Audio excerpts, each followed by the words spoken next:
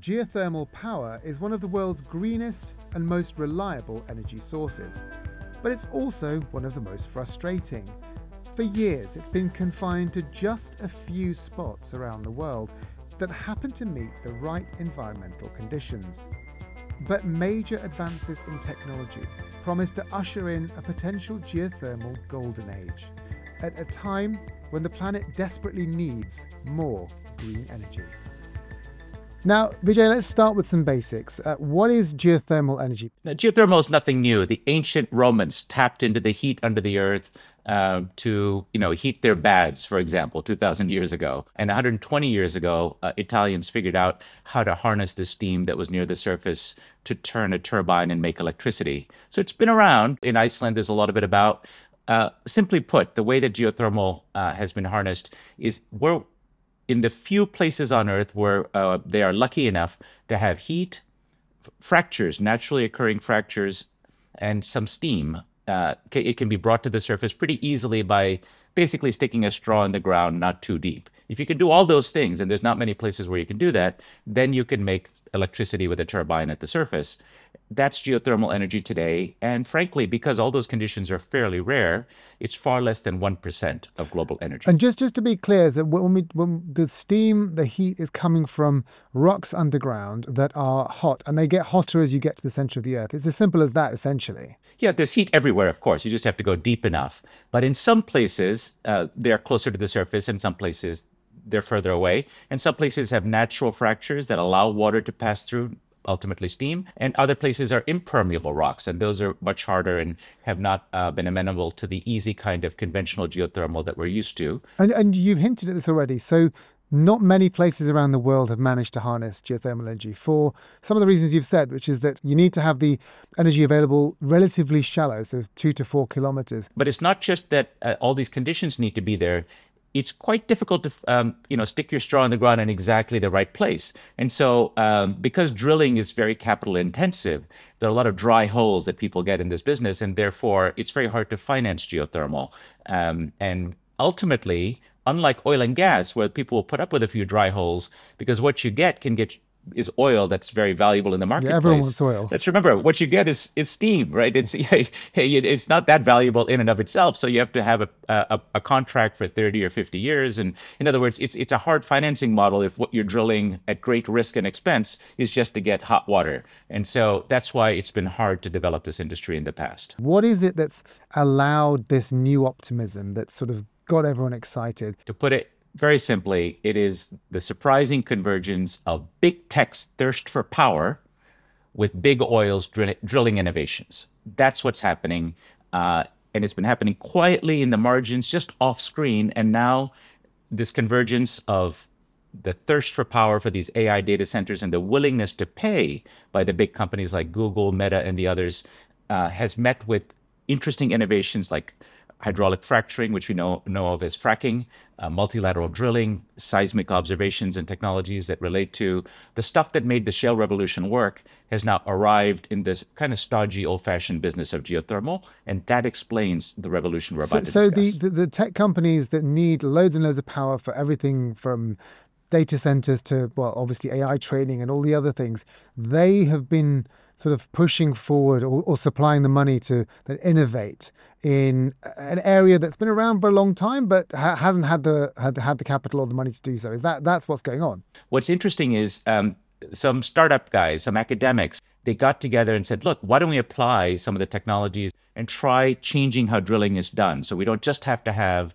this magic conditions, this sort of, you know, Goldilocks spot where we can find geothermal, but we could find it almost anywhere. It was an unproven thesis, not very uh, successful 20 years ago, but they've shown it's not only correct, but it's moving at astonishing speed. What is the vision here? What, what is the potential if you can get these new technologies that we'll, we'll discuss, if we can get them to work, then, then, then how much is there out there? the thing to know is the new way of coming up with geothermal, uh, next generation geothermal, unlocks a, a triple green advantage, right? Uh, where you get the clean power, but you get something that you don't get with wind and solar, which are intermittent. That is, you get what's called firm power, meaning 24 7. A geothermal well runs all the time, and that's perfectly suited to baseload or to AI data centers in particular, but other kinds of applications Uh, it's even more reliable than nuclear power, which we've seen around the world. It has lots of outages and engineering design flaws.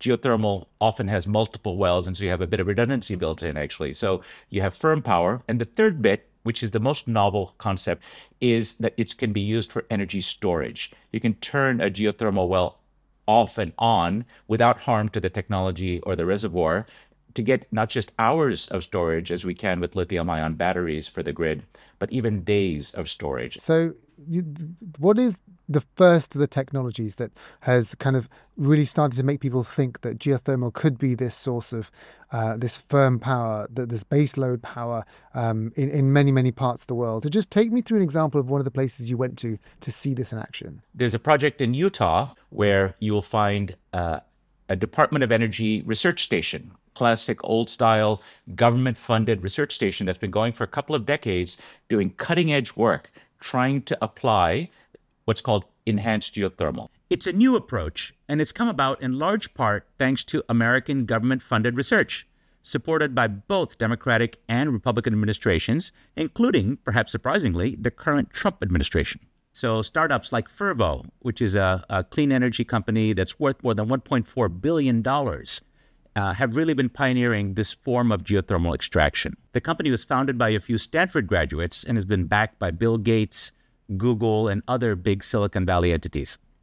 And they've been able to achieve dramatic improvements in the last few years with uh, how quickly and how effectively they can drill their uh, multilateral wells, meaning in multi-directional, but also with fracking uh, to get uh, energy out of the ground. How does a typical well that Fervo is is making? How does it sort of what does it do? How does it extract the energy, and what is it doing that's different to the traditional geothermal uh, energy? Rather than sticking one straw in the ground, you can imagine they're actually going to stick two straws. And the two straws are actually bendy straws, just to be a bit simple minded about it. The day I was there, they had drilled about 9,000 feet deep into the ground, had turned it at roughly 90 degrees, a slow turn, but nevertheless 90 degree turn, and went in a few more thousand feet in one direction. In the horizontal direction, then. So they've gone down and then they go horizontal. Exactly. Some distance away, a parallel well was also built, going down roughly the same depth and turning and going again horizontally. But the two don't meet. They stay some distance apart. And this is where the magic happens. They use the technique of hydraulic fracturing which is fracking the rock to create fractures in the rock that did not exist before. Water is then pumped down through those wells into those cracks underground, effectively creating an artificial reservoir a few kilometers below. And that picks up the heat from the ambient temperature, which is 150 to 200 degrees Celsius. And that heated fluid gets sucked up through the second straw back to the surface, where through a series of steps, it ultimately turns a turbine to create electricity. So, in a simplified way, they pump the water down, it gets heated by uh, the earth in the, it, within those fractures, and it gets drawn up through the second straw to turn a turbine ultimately. This is important because it takes a lot of luck to make traditional geothermal work. You need the right kind of rocks at intense heat and pressure and at relatively shallow depths. It all sounds very logical and very obvious in some ways, doesn't it? G- g- given the technology is already available through shale oil, that this this this hasn't been tried for so long. Well, I mean, this has been on the books for decades. People have conceptualized it, but actually doing it. Let's remember, a couple of decades ago, the the, the shale frackers got into some trouble because it was poorly regulated. They'd get in there and they'd use nasty chemicals. There'd be earthquakes because they didn't do it the right way and it wasn't well monitored. So this was a dirty word. There's still parts of the world, like the UK, for example, where fracking is banned. Yeah Right. And so uh, you can't just try it. And so this has been a very risk averse industry. And especially if you recall, I mentioned it's also one that's financially constrained. Wells are expensive to drill, and the way they drill is different from the oil and gas guys. So have, one has to learn new tricks. So this is really learning by doing. And that's the story of the last 10, 15 years. How close is it to actually making this work at a commercial scale and selling energy on the grid? So this is the interesting part of the story. There are lots of pilots, and we know uh, the history of um, energy is littered with death by pilot. Uh, many, many great ideas come along and they can't get the capital to build their first commercial scale plant.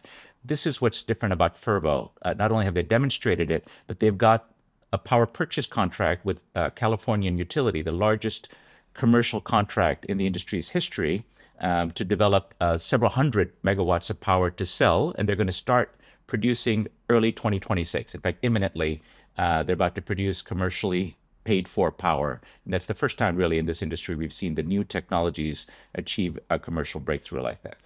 What about some of the challenges that are still left? You mentioned earthquakes before, and I think anyone listening to this and hearing the word fracking is thinking that the same thing. Um, when it was introduced in various countries, there were localized earthquakes that were sort of proven to be coming from these drilling technologies. Um, are people not concerned about that anymore? Uh, you're absolutely right to point that out. And indeed, people are concerned about that. Um, whether it was in Switzerland or in South Korea, uh, several other countries, they had experiences of uh, quakes, and, and rightly so. The community was alarmed. But in the last 20 years, part of what the lessons learned are monitor, monitor for quakes, catch them early, but also to use it in real time as a feedback loop to direct when you guide your uh, drilling. They don't simply go down willy nilly or turn at too sharp an angle, for example. Clearly, this is a technology that is um, on the verge of becoming, you know, huge. But just can you stand back and tell me how important will something like geothermal be then for the future of energy? So, uh, rather than offering my prognostications, I'll rely on a couple of official forecasters. Uh, America's Department of Energy, they've been rapidly updating their own forecasts. Uh, and their, their latest big study on this um, suggested that if policy challenges that are in the way can be uh, fixed, and we can talk about that in a moment, that the technologies have the potential to achieve three times the energy output of all of America's nuclear power plants today by 2050. That is from being virtually nil, less than 1% today, to being massive the International Energy Agency, which of course looks globally, and they've done a terrific report that's fairly recent.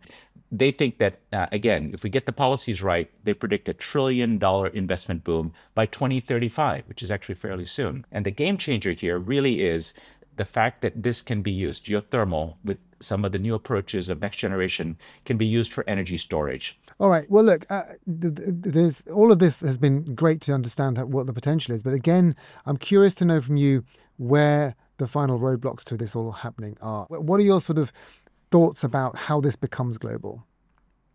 So I would say three things need to happen for this really to have a chance to take off. First, I think regulations have, that are outdated and complicated have to be simplified. People haven't really thought about regulating it properly. It's been lumped in with oil and gas regulations, or some countries it's lumped in with mining. And, and heaven forbid, mining is one of the most uh, you know, industry that are slowest moving in America. It takes like 28 years to get an approval of a mine and get it going.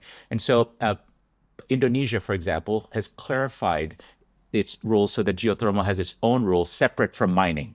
In Texas, it was lumped in and regulated by three different regulatory agencies. It was a morass. So recently, they simplified that a couple of years ago so that one regulatory agency, one stop shopping. And all of this provides clarity for investors, fast track, and make sure that this is not the same as oil and gas fracking, which uses nasty chemicals. And so it's regulated in a, in a different and more efficient way. Second is the seismic supervision. It might be that a country like Argentina, where there is a fracking industry and they're encouraging it, may well advance further because their regulators are knowledgeable and more comfortable with how to supervise it properly. And the third thing I think is I've alluded to is recognize the value of energy storage. We tend to go towards new supply and not think so much about potential sources of, of demand management or, or time shifting, uh, virtual power plants, and so on. And so energy storage is a huge game changer. So if we were to rejig market roles in a way that makes sense to enhance grid stability, not particularly to help geothermal, it would help any kind of energy storage or technologies at time shift, then I think that would be a, a tremendous boon to this industry in particular. Vijay, thank you so much for your time. It's been a great pleasure, Alok.